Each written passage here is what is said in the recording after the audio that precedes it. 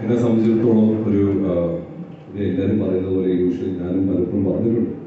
ഓരോ സിനിമ ചെയ്യുമ്പോൾ അടുത്ത പ്രൊമോഷന് വേണ്ടി പറയുമ്പോൾ ഒരു വ്യത്യസ്ത സിനിമയാണ്. ഡെഫിനറ്റ്ലി വാച്ച് ചെയ്യുന്ന സിനിമയാണ്.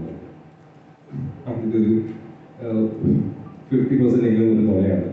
പക്ഷേ ഈ സിനിമ സത്യത്തിൽ നൂറ് ശതമാനം എന്നെ സംബന്ധിച്ചിടത്തോളം ഒരു ഡിഫറെന്റ് സിനിമയാണ്. ഇതുവരെ എന്റെ ഒരു കരിയറിൽ ഇത്തരം ജോണറിൽ ഇങ്ങനെ ഒരു സ്കെയിൽ ഒരു സിനിമ ചെയ്തിട്ടുണ്ട് സ്കെയിൽ എന്ന് പറഞ്ഞത് ഇതിന്റെ ബഡ്ജറ്റ് വൈസ് നിലയാണ് എനിക്ക് കൊറോണ കഴിഞ്ഞ സമയത്ത് തിയേറ്ററിലൊക്കെ അടിഞ്ഞ് അടിച്ചിട്ടിരിക്കുന്ന സമയത്താണ് എനിക്ക് ഒരു ഒരു വൺ ഓഫ് ദ സ്ക്രിപ്റ്റ്സ് ഞാൻ കേട്ടപ്പോൾ എനിക്ക് ഒരുപാട് ഇഷ്ടപ്പെട്ടു. ആ സ്ക്രിപ്റ്റ് ആ കഥയിൽ ഉണ്ടായിരുന്ന നോട്ട് ഒരു ഡിഫറെന്റ് തിങ്കിങ് ഒരു different thought out of the box എന്നൊക്കെ പറയുന്നത് പോലെ ഒരു എനിക്ക് ഡിഫറെന്റ് ആയിട്ട് തോന്നി. പക്ഷേ ചെറിയ സംശയങ്ങളൊക്കെ ഉണ്ട്. ചെറുതല്ല വലിയ സംശയങ്ങളുണ്ട് കാരണം ചാൾസിന്റെ ഈ ഒരു ഡ്രീം പ്രോജക്റ്റ് ഇതിനെ എങ്ങനെ റിയാലിറ്റി ആക്കും? റിയാലിറ്റി ആക്കാൻ വേണ്ടി ഞങ്ങൾക്ക് ഫണ്ട്സ് വേണം. എന്ന് നല്ലൊരു പ്രൊഡ്യൂസർ ഉണ്ടാവും.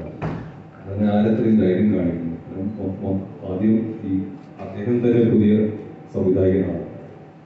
എല്ലാവർക്കും പല ആഗ്രഹമുണ്ട് പലതരത്തിലുള്ള സിനിമ ചെയ്യണം അങ്ങനെ ചെയ്യണം ഇങ്ങനെ ചെയ്യണം പക്ഷേ it is not easily possible അങ്ങനെയാണ് ഓൾറെഡി അദ്ദേഹം ഒരു പ്രൊഡ്യൂസറുമായിട്ട് സംസാരിച്ച് വിനോജ് വിനോജും വിനോജിന്റെ ബ്രദേഴ്സും ഒക്കെ ചേർന്ന ഈ പ്രൊഡക്റ്റിന് പ്രൊഡ്യൂസ് ചെയ്യുന്നത് പുള്ളി തന്നെ അദ്ദേഹം തന്നെ ധൈര്യത്തോടെയാണ് ഞാൻ ഈ സിനിമ ഏറ്റെടുത്ത് ചെയ്യാൻ തുടങ്ങിയത്. ഒരു വലിയൊരു ഭാരം തന്നെയാണ് എന്റെ ഷോൾഡറിൽ ഈ സിനിമ. എല്ലാ വിധത്തിലും ബിക്കോസ് ഈ സിനിമ ഒരു സാധാരണ കൺവെൻഷൻ സിനിമയാണ് ഈ ട്രെയിലർ കണ്ടാൽ തന്നെ മനസ്സിലാവും. ഒരു ഡിഫറെന്റ് സിനിമ പലരും ഇത് ഹോളിവുഡ് സിനിമയാണ് എന്നൊക്കെ പറയും.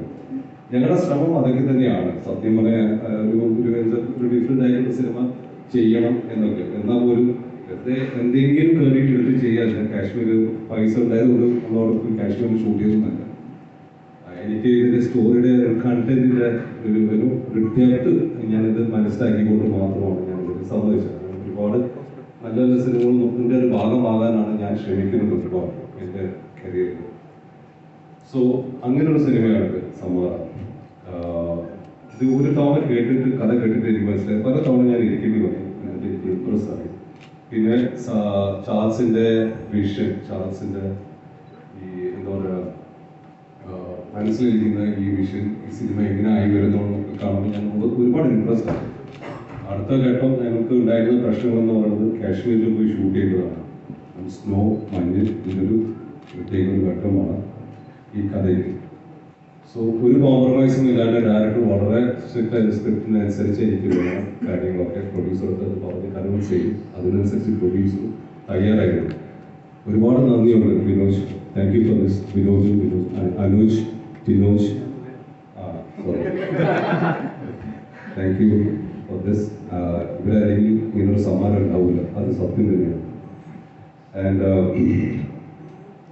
ഇത് ഒരു പ്രത്യേക സിനിമ എന്ന് പറയാൻ കാരണം ഇതൊരു അങ്ങനെ ഒരു പ്രത്യേക സിനിമയല്ല ഇത് എടുത്തിരിക്കുന്ന വിധം ഒരു പ്രത്യേക രീതിയിലാണ് ആഹ് ഇതിനെ അവതരിപ്പിക്കുന്നത്.